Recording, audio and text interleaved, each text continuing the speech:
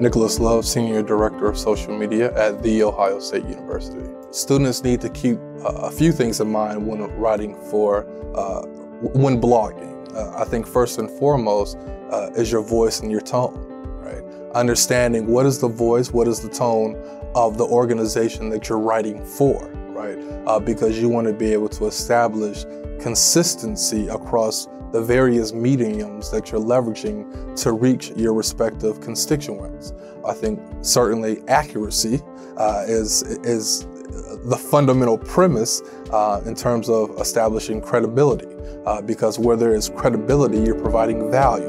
Where there's value, you're providing a reason for people to engage with you. Uh, and so I, I, would say the top two things um, that students need to think about when blogging is one, understanding the organization's voice, and two, remaining accurate and credible in, in, in the content that they're offering.